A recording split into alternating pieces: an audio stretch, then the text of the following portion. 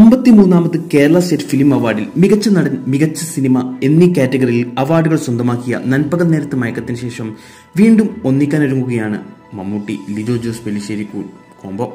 എന്നാൽ ഇത്തവണ നൻപകൽ നേരത്ത് മയക്കം എന്ന വേൾഡ് ക്ലാസ് ചിത്രത്തിൽ നിന്നും തീർത്തും വ്യത്യസ്തമായ കൊമേഴ്ഷ്യൽ എന്റർടൈൻ സിനിമയുമായിട്ടാണ് ഇരുവരും പ്രേക്ഷകർക്ക് മുമ്പിലേക്ക് എത്തുന്നത്.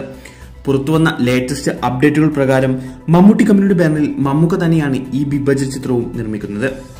നൻപകൽ നേരത്ത് മയക്കത്തിന്റെ കഥ കേട്ട സമയത്ത് മറ്റൊരു വലിയ ചിത്രവും മമ്മൂട്ടിയും ലിജോയും ചർച്ച ചെയ്തിരുന്നു. അന്ന് കോവിഡ് പ്രതിസന്ധി നിലനിരുന്ന സമയമായതിനാൽ ഇതെല്ലാം കഴിഞ്ഞ ശേഷം ഈ സിനിമയെക്കുറിച്ച് ആലോചിക്കാമെന്നായിരുന്നു മമ്മൂക്ക പറഞ്ഞിരുന്നത്.